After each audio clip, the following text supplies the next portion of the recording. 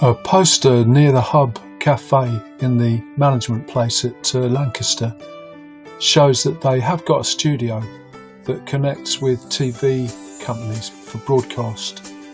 And this is um, a very good feature uh, as a studio in the middle of a campus.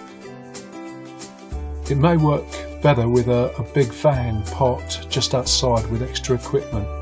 Not sure about this, but uh, certainly as things go on, a, a, phone or a tablet might work uh, just as well or comparably.